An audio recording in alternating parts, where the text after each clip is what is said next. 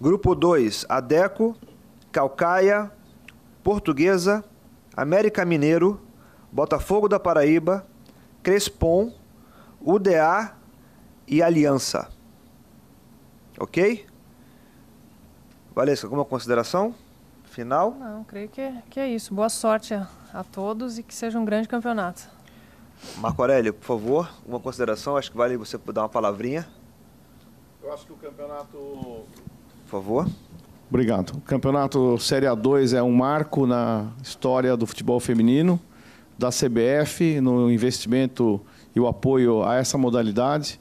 É um campeonato brasileiro com 32 clubes, duas séries, A1 e A2, onde o menor número de jogos será na Série A1 14, ou seja, as equipes hoje terão um calendário a ser respeitado, com turno e retorno. Eu acho que é um grande avanço, que é também o reflexo da, das demandas eh, que foram colocadas no nosso encontro para discutir a modalidade aqui no Comitê de Reformas.